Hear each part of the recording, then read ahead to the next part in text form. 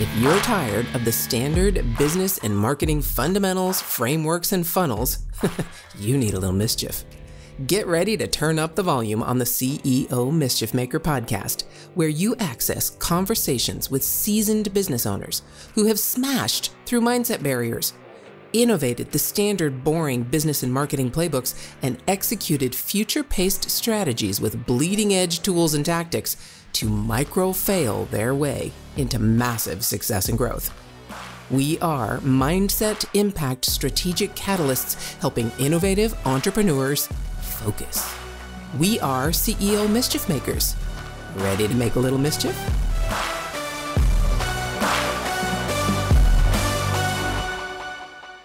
Okay, it's Friday, and Friday is my favorite day because now we get to wrap all this up. Everything we've talked about in the last two episodes, and if you haven't listened to them yet, you must go do that. Uh, we get to wrap that all up in a beautiful bow and bring it down to earth, bring it down to the actual ground level, get in the weeds, and see the actual tactics we can use to, as my amazing guest, Jose Bolaños says, fulfill your infinite purpose. So, yeah Tell me, Jose, how do you do that? What are some of the tools and tactics that you use to fulfill all the things we've talked about over the last two episodes? Okay, so the one part is, you know, develop that infinite mindset. Once we are connected to that infinite purpose and we're on this journey, we need to warrior up. We need to understand that life is going to throw stuff at us. So I believe that we need to be ready to respond to whatever life throws at us. And start by giving that a name. We give whatever life throws at us a name. And I use the term VUCA.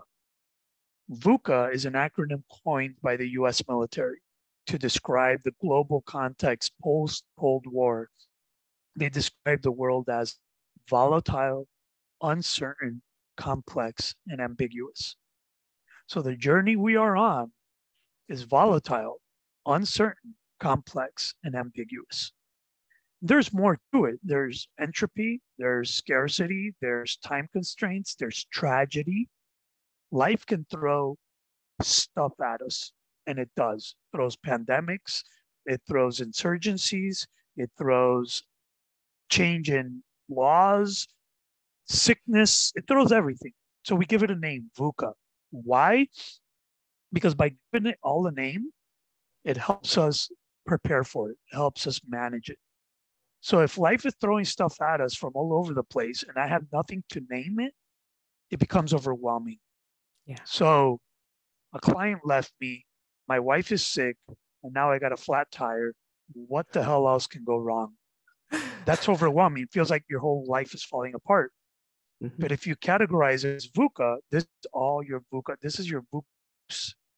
This is what life is throwing at you, and you got to be ready for it. So we name VUCA because it's practical, it's tactical to name it, because now I can prepare for it.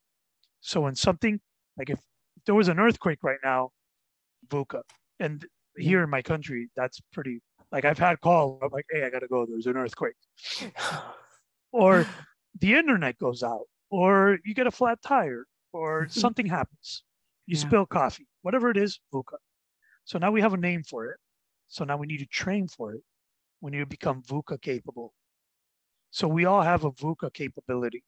It's how much shit we can take part of my fresh yep. And so we can all bring that up. We, we in psychology there's a concept called the window of tolerance is basically how much you can take without breaking. Hence the name of my program being unbreakable. So we have this window of tolerance, which is equivalent to our VUCA capacity, how much of life we can take. And we can actually measure it. And we can actually build it. We can actually expand it. And that's a lot of what I want to do with my clients is for them to not just develop an infinite mindset and connect to their purpose and meaning, but also warrior up and expand their window of tolerance so that they can be able to manage more of life without wasting unnecessary energy and from an optimal state. And there's no shortcuts. You need to train. You need to train like a warrior would train or an athlete would train. And this is where we start with the training methods. One of those methods is using stressors to build and expand our window of tolerance. So we use seven stressors, seven vehicles, triggers, cold exposure, heat exposure, fasting. So right now it's about noon. I haven't eaten a single calorie since last night. I'm on the edge of hunger. Um, strength training, endurance training. So whether it's lifting at the gym or doing longer cardio endurance training like running or swimming or whatever it is, breath holding and over breathing. So over breathing would be things like Wim Hof style methods, rebirthing, the holotropic breath work. It's all the super ventilating, deep over breathing. Mm-hmm. On the other side, we have breath holding, which is building CO2 tolerance, uh, the oxygen advantage principle. It's a, it's a method, oxygen advantage, Buteyko method. These are all um, breath holding and building CO2 in your system. These seven triggers cold, heat, strength, endurance, breath holding, overbreathing, and fasting. And we develop a curriculum for ourselves. I believe we need to be doing these weekly. We need to have these incorporated into our lives, these stressors, these discomfort into our lives, but with the right intention. The intention is what gives it the power. So my intention is to use these stressors because I have a noble commitment, because I have this infinite purpose. And building my strength, I'm building my ability, I'm building myself up so that I can better fulfill on my commitment. That's the intention. Yeah. So if I get in an ice bath, it's because I want to be a source of presence, strength, and transformation for others. If I'm doing fasting, same thing. If I'm doing training, it's all connected to my commitment. Expose myself to these discomfort, these uncomfortable things, because I want to be stronger in fulfilling my commitment. And when we make that connection, it really gives us this catalyst, it really makes it this, it really accelerates your ability to build resilience.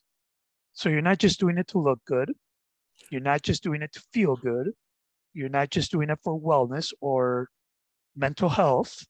No, you're doing it because you need this to fulfill this. Yes. So this isn't the end. This is the means to fulfill this end, which is the noble commitment. And that so we, I, I, oh, go ahead. I have to say, I'm sorry, I just have to interrupt you there because that I think mm-hmm. what we're what we're talking about is is something much bigger than yourself. So if you're still only focused on me, me, me, I need more money. I need to look good. I need my health. I need whatever that is. I need to buy this house. I need this car. I need whatever. If if you're still focused on just what you need, and even your family, my family needs this. It's all about yeah. me. If that's where you are, this won't work. If yeah, you are beyond, that's it. If you are going beyond yourself and you have a purpose beyond just you and your immediate needs and happiness, then this will help you, as Jose just said, warrior up and make the shifts that you need to make in, in not just your life, but in the in the in the waves of the world, in the ripples of the world. That's so amazing.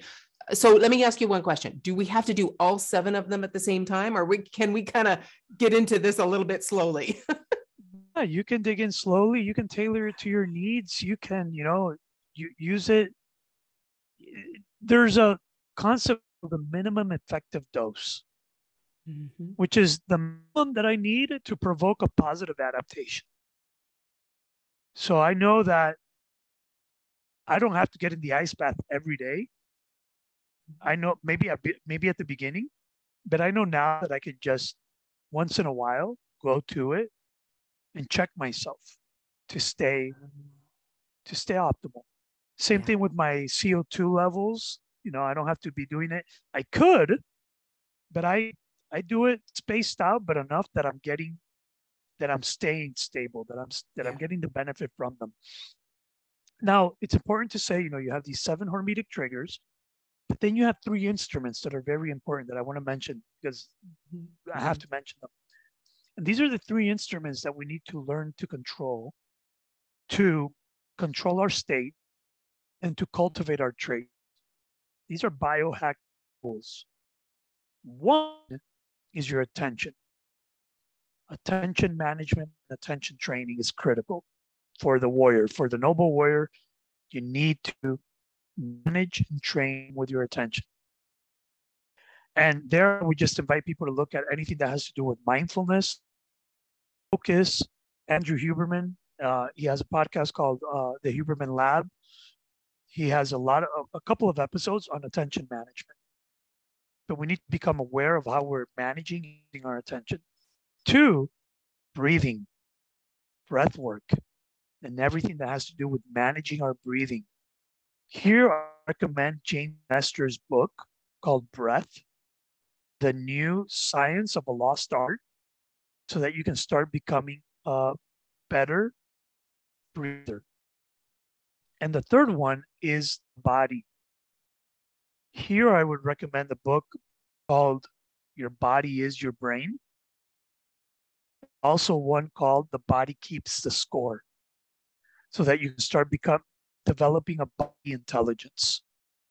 So we need to start developing our ability to manage our attention, to manage our breathing, and to develop body intelligence.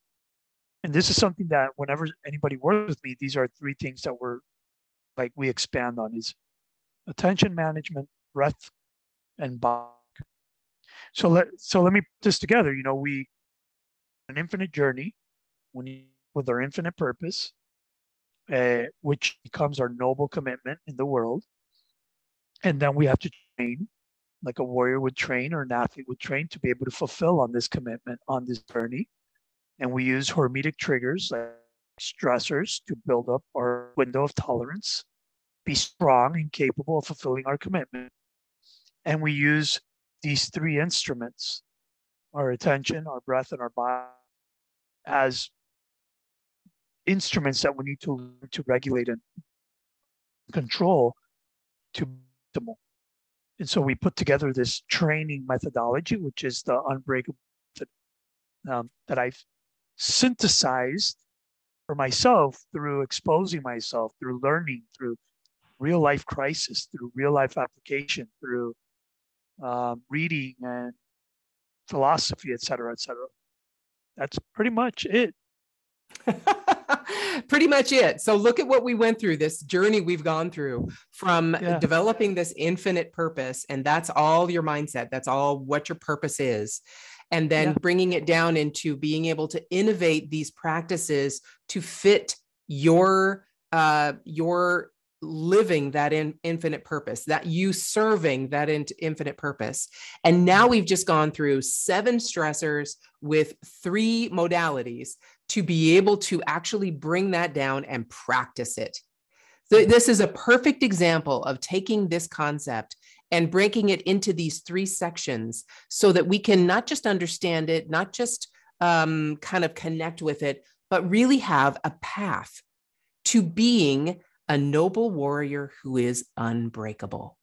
This yeah. is so beautiful, Jose. Jose, thank you Thank you so much for sharing this. Any last thoughts? I'm going to give, so just in case um, everyone listening didn't get those books or those resources, don't worry, we will have the, the resources available to you.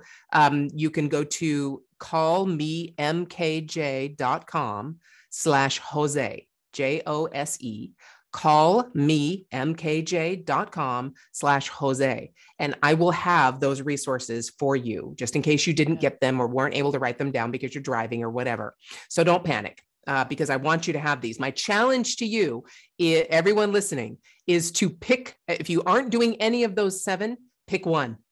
Pick one and talk and look at follow jose follow the things he talks about and be able to practice that to handle that stressor to make yourself stronger and becoming a noble warrior and uh, and definitely connect with jose uh, find him yeah. on all the social channels and uh, he will be able to help you in all the content i know i've been following i love it so what is your last give me a last uh, idea on this whole concept we've been talking about. Any last thoughts?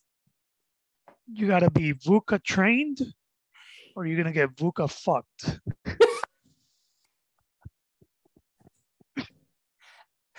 done. Mic yeah. drop. We're done. That's it. That's exactly true.